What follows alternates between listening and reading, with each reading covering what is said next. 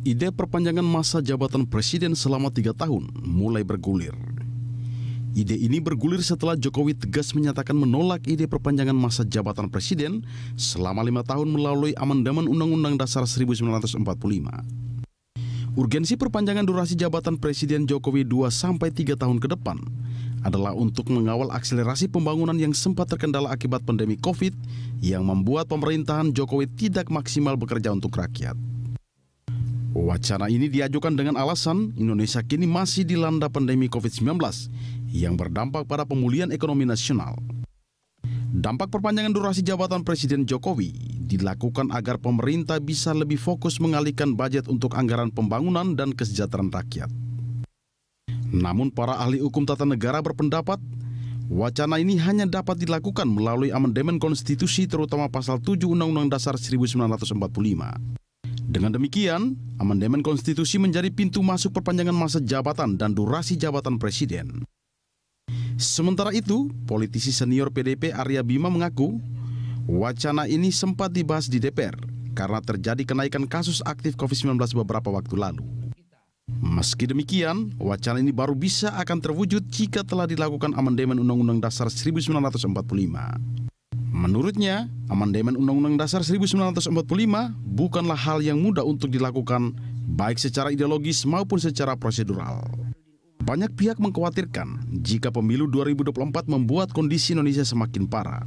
Hal ini sebabnya ada upaya mendorong agar perpanjangan masa jabatan presiden selama tiga tahun melalui dekret atau selama lima tahun melalui amandemen Undang-Undang Dasar 1945.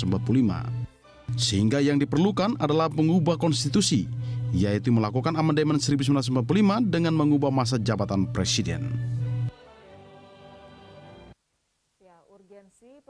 Jabatan presiden. Itulah topik dialog kita pagi ini. Wacana perpanjangan durasi jabatan presiden selama 2 sampai 3 tahun ke depan masih menimbulkan pro dan kontra. Meski demikian, wacana itu hanya dapat dilakukan melalui amandemen konstitusi, terutama pasal 7 Undang-Undang Dasar 1945. Amandemen konstitusi menjadi pintu masuk memperpanjang masa jabatan dan durasi jabatan presiden. Dan untuk membahasnya kita sudah bergabung dengan pengamat politik Indo Barometer Muhammad Kodari. Selamat pagi Pak Kodari. Selamat pagi Anggita. Ya Pak Kodari ini uh, seperti yang kita dengarkan tadi di berita pengantar, pembicaraan terkait dengan perpanjangan masa jabatan presiden ini kembali diperbincangkan. Alasannya karena saat ini Indonesia masih dalam uh, masa krisis pandemi. Nah, apakah Anda setuju Pak dengan usulan perpanjangan durasi jabatan Presiden Jokowi sampai 2027? Saya kurang setuju ya kita. E, permasalahannya adalah kalau diperpanjang itu kan sesungguhnya hanya tiga tahun ya. Jadi amat sangat tanggung kalau kita bicara program program kerja. Yang kedua, kalau kita bicara mengenai perpanjangan masa jabatan presiden, sesungguhnya itu juga membutuhkan amandemen konstitusi gitu loh. Jadi saya lebih memilih seperti yang yang saya sampaikan selama ini bahwa ada amandemen masa jabatan presiden itu diperbolehkan tiga periode daripada saat ini yang hanya dua periode saja begitu. Uh, saya khawatir kalau perpanjangan ini dilakukan tanpa ada amandemen, maka justru bisa menimbulkan uh, pergolakan politik yang tidak terduga dan tidak terkendali ya. Mm-hmm. Karena masyarakat itu tidak diberikan wewenang atau hak untuk menggunakan suaranya begitu. Eh, tapi kalau aman, amandemen diperbolehkan tiga periode, artinya 2024 nanti masih ada pemilu dan rakyat itu uh, walaupun katakanlah misalnya dalam uh, bayangan saya pasangan Jokowi Prabowo misalnya itu nanti berhadapan dengan kota kosong, rakyat itu tetap memiliki hak untuk menggunakan apa? Katakanlah wewenangnya suaranya begitu. Untuk memilih pasangan Jokowi Prabowo atau memilih kota kosong begitu. Menurut saya yang tidak bisa dan tidak boleh diambil dari masyarakat Indonesia itu adalah kesempatan untuk menggunakan hak suaranya untuk menentukan eh, apa presidennya atau pemimpinnya begitu. Betul. Karena kalau kalau perpanjangan masa jabatan presiden balik lagi itu keputusan hanya ada di di tingkat elit hanya di MPR saja begitu. Dan itu tidak melibatkan masyarakat. Begitu kira-kira analisanya. Baik. Uh, mungkin bisa dikatakan uh, jika wacana perpanjangan itu dilakukan, uh, ini bertentangan dengan uh, semangat reformasi dan demokrasi begitu ya Pak. Nah, uh, ada uh, opini yang mengatakan bahwa hmm ditakutkan nanti jika pemilu tahun hmm. 2024 itu tetap dijalankan hmm. tanpa adanya masa perpanjangan hmm. uh, hmm. masa jabatan petahana ini akan hmm. mengganggu fokus pemerintah dalam pemulihan ya. masa krisis pandemi saat ini. Apakah pertimbangan seperti hmm. itu memang uh, bisa dikatakan logis, Pak Kodari, terkait dengan ya. pertimbangan perpanjangan jabatan ini? Ada benarnya ya, ada benarnya. Tetapi sebetulnya solusi yang lebih konklusif adalah dengan amandemen Undang-Undang Dasar 45 presiden boleh tiga periode dan kalau presiden boleh tiga periode maka saya hakul yakin ya partai-partai politik yang ada sekarang ini, terutama koalisi pemerintah, itu akan kembali mendukung Pak Jokowi. Hmm. Uh, dan buktinya kan sudah ada beberapa hari yang lalu dalam acara ulang tahun ke-10 Partai Nasdem itu Pak Surya Paloh sudah mengeluarkan pernyataan terbuka, sangat jelas dan terang bahwa seandainya masa jabatan presiden tidak, tidak dibatasi dua periode, maka Nasdem mulai dari pusat sampai ke daerah itu pasti dukung Pak Jokowi gitu. Nah, saya hakul yakin ya partai-partai yang lain juga notabene seperti itu. Misalnya PDI Perjuangan begitu. Hmm. PDI Perjuangan ya pasti kecenderungannya akan mendukung Pak Jokowi lagi. Pertama karena Pak Jokowi petahana, ya kan? Yeah. Tinggal melanjutkan saja program-program yang sudah berjalan sejauh ini dan program-program yang berjalan sejauh ini kan diapresiasi oleh masyarakat. Buktinya kalau survei sampai sekarang PDI nomor satu begitu. Yang kedua, kalau ada survei dan masih ada nama Pak Jokowi, sesungguhnya nomor satu masih Pak Jokowi yang kita. Hmm. Kalau sekarang survei-survei itu misalnya ada nama Ganjar, nama eh, apa eh, Anies Baswedan, Prabowo, ya tiga nama di papan atas, itu karena nggak ada nama Pak Jokowi, gitu loh. Nah, kalau kita bicara partai-partai eh, Gerindra misalnya, kalau dipasangkan dengan Eh, Pak Jokowi, Pak Prabowo, saya aku yakin mau gitu ya. Ada teman-teman yang mengatakan, emang Pak Prabowo mau jadi wapres kan selama ini maju capres. Hmm. Saya bilang ya lihat aja fakta. Jadi menteri aja mau apa jadi wapres gitu. Dan Pak, Pak Prabowo sendiri kan kalau tarung di pilpres nanti misalnya berhadapan dengan dengan Anies atau Ganjar kan belum tentu menang juga. Tapi kalau dengan Pak Jokowi ya seperti saya sampaikan di depan itu koalisi partai pemerintahan sekarang ini sudah total kursinya 82 persen gitu. dan kita tahu bahwa syarat pengajuan calon presiden itu adalah 20 persen kursi artinya apa ya katakanlah PKS dan Demokrat yang tidak bergabung dengan koalisi itu akan berhada apa tidak akan bisa mengajukan calon dan akhirnya ya pasangan Jokowi Prabowo akan berhadapan dengan kota kosong. Nah, kalau berhadapan dengan kota kosong pasti kondisinya tenang gitu loh karena apa? Karena tidak bisa di, dilabel dengan dikotomi calon nasionalis, calon Islam. Ya, nggak bisa tuh uh, kota kosong itu oleh apa PA 212 dikasih stempel calon Islam nggak bisa gitu loh. Iya, jadi ya saya melihat ya pembangunan ekonomi akan berjalan karena hasilnya ya istilahnya sudah sudah pasti ya ya bukan mendahului yang di atas ya, tetapi tingkat kepuasan kepada Pak Jokowi kan di atas 60 persen, 65 persen, bahkan 70 persen. Itu ya mayoritas masyarakat itu pasti menginginkan kembali, apalagi ada Pak Prabowo di situ. Hmm. Dan uh, ya kalau kita bicara apa uh, investasi ya nanti nggak akan nggak akan berhenti karena mereka akan akan sudah bisa membayangkan hasilnya. Sementara kalau bukan Jokowi Prabowo ya eh, katakanlah tiga nama yang saya sebutkan tadi itu mungkin dari Januari 2023 investasinya sudah sudah berhenti tuh kita karena apa? Waduh, ini nanti aman apa enggak ya? Calonnya siapa ya? gitu. Nah, katakanlah pemilunya bulan bulan Februari atau bulan Maret 2024 ya. Kan dilantiknya baru bulan Oktober tuh presiden baru. Lalu November ada pilkada langsung serentak seluruh Indonesia. Jadi boleh dibilang ya dua tahun itu investasi bisa jadi berhenti gitu. 2023 dan 2024 dan itu kita akan mengalami uh, loss of opportunity dan saya kira itu yang yang bisa di apa namanya bisa di, di, dihindari dengan uh, apa pasangan Jokowi Prabowo dan dengan amandemen Undang-Undang Dasar 45 di mana presiden bisa tiga periode. Kalau saya pada dasarnya saya pribadi ya argumentasinya adalah menghilangkan atau menghindari polarisasi, tetapi bahwa ada manfaat ekonomi dari dari situasi itu ya, saya juga apa namanya mengatakan justru ada ada manfaat tambahan hmm, begitu. Baik. Gitu. Nah Pak Kodari kalau kita bicara terkait dengan presidential threshold yang sempat uh, anda singgung tadi yang sudah uh, melewati yeah. syarat yaitu di atas 20 persen ini hmm. kalau kita bicara hmm. peluang untuk merealisasikan wacana hmm. perpanjangan durasi hmm. lewat konstitusi ini seperti hmm. apa Pak? Uh, kalau kita bicara undang-undang das bicara amandemen ya, kita bukan bicara syarat uh, 20 persen, uh, Anggita, karena itu kan syarat pengajuan calon presiden menurut undang-undang uh, apa pemilu presiden. Hmm. Kalau kita bicara amandemen, maka kita harus melihat kepada undang-undang dasar konstitusi. Dan kita bicara pasal 37. Pasal 37 itu mengatur bahwa undang-undang dasar kita itu bisa diubah ya. Syaratnya apa? Pertama, diajukan oleh sepertiga anggota MPR. Anggota MPR itu sekitar 711 ya. Anggota DPR-nya itu 575, ditambah anggota DPD RI 134. Nah, kemudian dihadiri sidangnya oleh minimal dua per tiga anggota MPR ya jadi dua per tiga dari 711 tadi lalu disetujui 50 persen plus satu dari yang yang hadir pada saat itu Nah, jadi kata kuncinya itu pertama-tama apakah eh, permintaan atau usulan amandemen itu akan diajukan oleh sepertiga anggota anggota MPR. Nah, sepertiga anggota MPR itu kalau saya hitung 711 itu sekitar 239. Itu kan sebetulnya relatif relatif mudah itu Anggita. Jadi eh, ya itu bisa tercapai begitu ya. Apalagi kalau kita bicara pada hari ini sesungguhnya sudah ada dua kekuatan politik cukup signifikan di di MPR itu yang sudah bicara amandemen.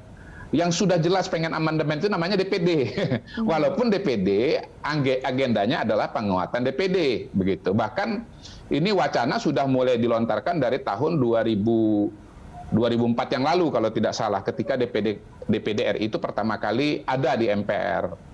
Kemudian PDI Perjuangan, kita tahu PDI Perjuangan punya agenda amandemen juga, kebutuhan amandemen juga, yaitu uh, eh, PPHN atau menghadirkan kembali GBHN ya seperti uh, zaman dulu katakanlah begitu. Nah, sekarang kalau mau ditambahkan menurut saya ada Nasdem begitu loh yang sudah jelas-jelas menunjukkan ya minat. Hmm. kalau Pak Jokowi bisa maju lagi kita dukung gitu kan. Hmm. Buat saya itu udah udah 34 eh, 3 per 4 per, apa 75 eh, persen menunjukkan indikasi bahwa Nasdem pun akan ikut amandemen tiga periode kalau misalnya uh, dibuka oleh teman-teman partai politik yang lain. Jadi kata kuncinya sebetulnya ya balik lagi di di teman-teman di di MPR ya, MPR uh, dan dan khususnya teman-teman partai politik gitu loh. Apa hmm. apakah ada gagasan atau pemikiran untuk melakukan amandemen? Kalau ada ya bisa terjadi. Jangankan apa jangankan walaupun tadi Mas uh, Bima Arya Bima ya Arya Bima mengatakan ini sulit tetapi sebetulnya ya amat sangat mungkin terjadi begitu. Hmm. Saya melihat apa amandemen ini mirip kayak revisi undang-undang aja kok gitu loh. Hmm. Ya kan revisi undang-undang uh, cuman memang karena ini konstitusi tentunya membutuhkan apa ya uh, kekuatan politik yang lebih besar dan uh, apa arus politik yang juga lebih kuat begitu. Baik, tadi Pak Kodari mengatakan sangat mungkin hmm. untuk dilakukan. Nah, jadi apakah ya. Anda yakin Pak amandemen UUD 1945 ini berhasil dilakukan jika melihat komposisi kekuatan politik pro pemerintah hmm. di MPR saat ini? Iya. Ya, saya saya yakin, saya optimis ya. Paling tidak kalau kita bicara hitungan Eh, di atas kertas ya. Eh, tadi saya sudah menceritakan hitung-hitungannya begitu. Jadi bagaimana jumlah partai politik yang sekarang ada di parlemen yang yang katakanlah merupakan koalisi itu sudah eh, tujuh partai ya itu sudah sudah mayoritas gitu. Ditambah dengan dengan DPD itu sebetulnya cuma tinggal tambah 4-5 orang kalau tidak salah saya sudah pernah hitung itu sudah memenuhi syarat 2 per 3 gitu loh. Hmm. 2 per 3 MPR itu kalau dikalikan 711 itu angkanya catatan saya itu 477 gitu. Nah anggota DPD itu kami pernah hitung juga minimal sepertiga itu adalah sebetulnya orang partai juga. Anu Anggita, misalnya nih ya anggota DPD sekarang dari Kalimantan Tengah, Pak Teras Narang, itu kan PDI Perjuangan.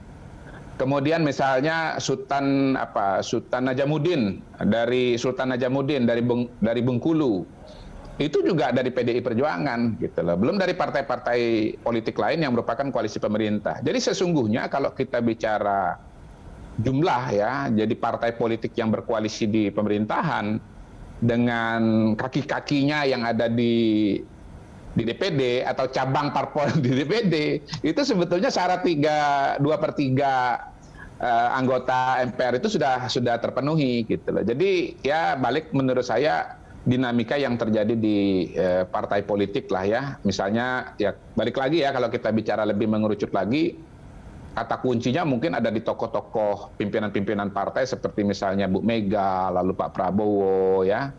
Eh, Pak Erlangga Hartarto dan nama-nama yang lain ya bagaimana kemudian uh, melihat tantangan politik Indonesia ke depan dan uh, apa solusi terhadap tantangan tersebut ya. Kalau saya mengatakan pada hari ini tantangan kita selain pembenahan ekonomi, ya, menangani COVID gitu ya, uh, ya polarisasi gitu. Dan itu menghadang kita pada tahun 2024 dan polarisasi ini bisa mengancam semuanya, hmm. bukan cuma mengancam pertumbuhan ekonomi, mengancam apa penanganan COVID bahkan bisa mengancam eksistensi NKRI karena kalau uh, polarisasi terjadi di 2024 dengan kondisi apa eh, internet kita seperti yang nanti 2024 diproyeksikan akan seluruh Indonesia, bahkan sebagian wilayah 5G, politik identitas eh, makin menguat, maka ya bisa-bisa terjadi konflik eh, akibat pemilu dan kalau itu terjadi dia akan menyebar di seluruh Indonesia, mencapai sebuah kondisi yang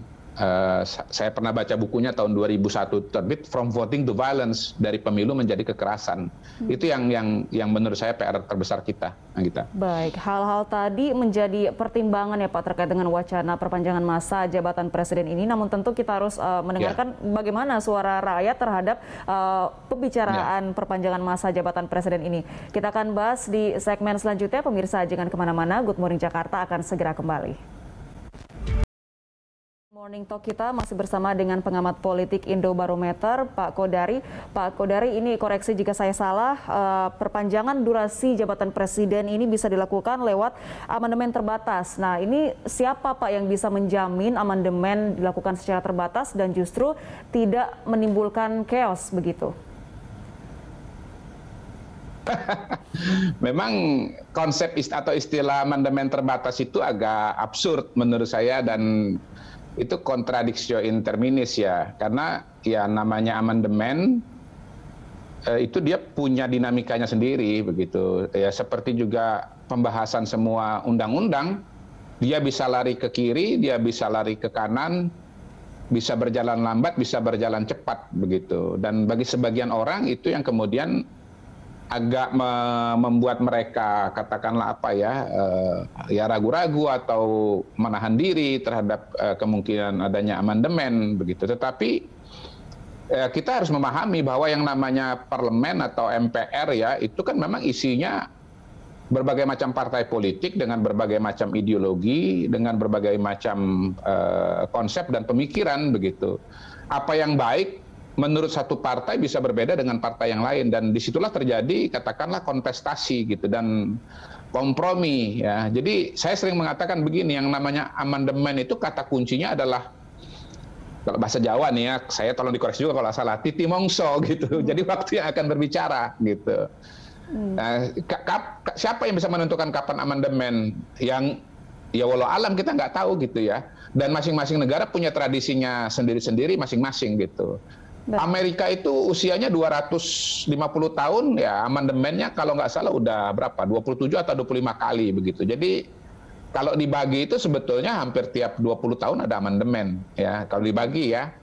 Dan amandemennya juga saling mengkoreksi satu dengan yang lain. Amandemen keberapa itu misalnya melarang uh, alkohol minuman keras. Tapi ya beberapa tahun kemudian dikoreksi lagi oleh undang-undang dasar yang sama begitu. Yeah. Setelah melihat perkembangan situasi dan kondisi. Nah Indonesia ini kan sudah pernah mengalami amandemen empat kali ya hmm. uh, selama empat tahun 99 uh, 2000 2001 uh, ya 2003 tahun itu empat empat kali amandemen kalau tidak salah itu banyak yang diubah Nah sekarang ini kalau mau amandemen lagi apa berapa pasal, berapa banyak pasal kita nggak tahu gitu loh. Jadi nanti DPD mulai dengan gagasan penguatan DPD, kemudian juga PDI Perjuangan dengan gagasan GBHN, ah, apakah kemudian gagasan itu atau gol akan gol atau ada gagasan yang lain kemudian yang muncul dan yang akan gol? Ya kita harus melihat dan menyaksikan dinamika yang terjadi di di MPR begitu. Jadi ya nggak ada jaminan uh, bahwa ini istilahnya akan terbatas. Konsep terbatas itu sendiri juga akan sangat sangat kabur. Hmm. Apakah terbatas itu artinya cuma satu pasal? apakah kalau dua pasal bukan terbatas? Ya. apakah kalau lima pasal itu bukan terbatas begitu? Jadi ya, ya menurut saya sih nanti kita lihat saja gagasan-gagasan yang muncul ya nanti akan kita lihat uh, kita bisa analisa kok sebetulnya ini gagasan didukung oleh berapa partai politik digagas oleh berapa kelompok dan berapa jumlahnya begitu. Nah pada hari ini pada hari ini kalau saya yang ditanya Menurut saya titik temu dari semua partai politik dan kekuatan politik yang ada ya, eh, titik temu paling besar ya, bukan 100% ya, karena dalam politik itu ya jarang dan hampir nggak ada tuh gagasan yang didukung 100% oleh semua kelompok itu nggak ada gitu loh. Itu adalah gagasan bahwa bahwa pemerintahan ini membutuhkan anu, membutuhkan waktu lebih banyak gitu loh untuk melaksanakan pembangunan dan memperbaiki ketinggalan yang terjadi akibat uh, adanya COVID gitu dan itu artinya apa? buat saya artinya ya uh, masa jabatan presiden akan ditambah lagi diperbolehkan menjadi uh, tiga kali gitu loh ya ya pak kan ada negara yang satu kali ada yang dua kali oke mayoritas dua kali tetapi ya bukan berarti tiga kali tiga nggak boleh nggak boleh kan? Gitu. Ada juga yang bisa sampai beberapa kali. Begitu kira-kira. Baik. Nah Pak Kodari kalau kita bicara mengenai uh, wacana perpanjangan durasi masa jabatan presiden hmm. ini tentu ada uh, plus dan minus ya Pak dari setiap keputusan. Hmm. Jika niat ya. baiknya yeah. seperti yang Anda katakan tadi adalah agar pemerintah bisa fokus melanjutkan pembangunan yang tertunda akibat pandemi. Nah, ini kira-kira hmm. dampak apa Pak yang bisa disebabkan dari perpanjangan durasi yeah. masa jabatan presiden hingga 2027? Ya kembali lagi ya, kalau menurut saya, kalau saya pribadi saya tidak setuju dengan perpanjangan ya. Saya setujunya tiga periode begitu. Kalau amandemen, kalau perpanjangan masa jabatan, saya khawatir nanti akan ada apa ya, akan ada penolakan dari masyarakat karena sudah ada hasil-hasil survei yang menunjukkan bahwa ketika diminta untuk katakanlah memilih antara dua sistem pemilihan, pemilihan langsung oleh rakyat atau pemilihan oleh MPR itu besar sangat dominan sekali yang mau pemilihan langsung itu 95 persen apa 98 persen begitu. Jadi saya khawatir ya kalau itu diperpanjang lalu kemudian terjadi keributan atau kerusuhan begitu. Hmm. Ya amandemen pun bisa akan menimbulkan penolakan, tapi menurut saya akan jauh lebih lebih terkelola ya dan yang bisa diterima gitu dan lebih bisa dijelaskan gitu. Kenapa? Ya karena amandemen itu ada ininya, ada ada pasalnya di di di undang-undang dasar gitu loh. Jadi kalau perpanjangan main perpanjangan begitu saja menurut saya sih akan ditolak gitu. Ya kalaupun misalnya ada pemikiran ah ini lebih baik perpanjangan dan bukan apa tiga periode, ya tolong dilalui dulu masa masa amandemen itu gitu. Jadi orang kalau kalau setuju nggak setuju itu bukan nggak setuju dengan perpanjangan masa jabatannya, tapi tidak setuju dengan amandemennya gitu loh. Hmm. Gitu Anggita. Jadi uh, ya ya kita bisa lebih katakanlah kepala dingin gitu, tidak tidak mendadak langsung kemudian diperpanjang oleh oleh keputusan MPR misalnya. Saya saya saya nggak tahu kalau ahli hukum ya. Saya merasa tidak ketemu pasalnya itu hmm. memperpanjang masa jabatan tiga periode itu saya nggak eh sorry memperpanjang masa jabatan jadi tambah tiga tahun itu saya nggak ketemu pasalnya. Tapi kalau jadi tiga apa kalau jadi tanpa amandemen ya maksudnya ya. Tapi kalau lewat amandemen ya mau menulis apa pun di di di undang-undang dasar ya terserah yang punya wewenang gitu. 711 itu mau dibikin jadi perpanjangan 10 tahun, mau lima kali ya terserah gitu loh. Kan mereka yang punya wewenang gitu. Soal perdebatan konsepnya setuju atau tidak setuju itu hal yang hal yang lain lagi. Jadi kita ini berbicara mengenai dua hal. Pertama mengenai legalitas suatu kebijakan atau suatu keputusan. Yang kedua ya konsep uh, dari perubahan itu sendiri gitu. Menurut saya mau diperpanjang tiga tahun atau mau tiga periode itu harus lewat amandemen legalitasnya di situ Baik, bertumpu pada dua hal itu tadi ya Pak, legalitas kebijakan mm -hmm. dan konsep perubahannya mm -hmm. akan seperti apa. Mm -hmm. Nah, terkait dengan mm -hmm. hal ini, Presiden Jokowi sudah mm -hmm. menyampaikan sikap tegas menolak terhadap mm -hmm. wacana ini, namun ide ini terus digulirkan yeah. oleh sejumlah elemen politik. Yeah. Apa yang bisa Anda yeah. komentari Pak dari sikap politik ini? Ya pertama memang wewenangnya bukan Pak Jokowi gitu loh dan Pak Jokowi pasti berbicara dalam koridor konstitusi yang ada bukan yang akan gitu. Kalau dia berbicara terhadap sesuatu yang akan, nanti dia bisa di apa bisa di bisa apa istilahnya bisa dipersoalkan gitu. Nah, wilayahnya kan memang wilayah wilayah MPR, wilayah apa katakanlah eh, legislatif ya gitu. Nggak ada Pak Jokowi di MPR itu nggak ada, nggak ada. Yang ada di MPR itu adalah anggota DPR sekarang ini ya ditambah dengan DPD kan begitu. Jadi ya yang bisa bicara hal ini ya anggota DPD, ketua DPD. Nah kita tahu juga Pak Lanyala udah dalam berbagai forum menyampaikan gagasan ya. Kemudian ketua MPR ya anggota MPR. Ketua MPR Pak Bambang Susatyo sudah berbicara di banyak forum, di banyak kampus ya, bicara mengenai konsep PPHN begitu. Jadi ya wilayahnya memang harus ditanyakan kepada kepada pimpinan MPR, pimpinan eh, DPD dan ya pimpinan DPR gitu. Pokoknya ya yang memiliki kartu anggota atau memiliki kursi, memiliki tempat di MPR, di luar mereka tidak bisa gitu ya. Kecuali kalau kita sebagai rakyat kan boleh ngomong gitu. Tetapi kalau sebagai pejabat ya wilayahnya adalah wilayah pejabat MPR begitu gitu. Baik, ini tentu kita masih akan uh, menyaksikan begitu ya Pak bagaimana babak selanjutnya ke mana wacana ini akan bergulir. Pak Kodari terima kasih banyak ya. sudah berbagi informasi Baik. bersama kami pagi ini. Salam sehat selalu. Sama-sama. Sama-sama.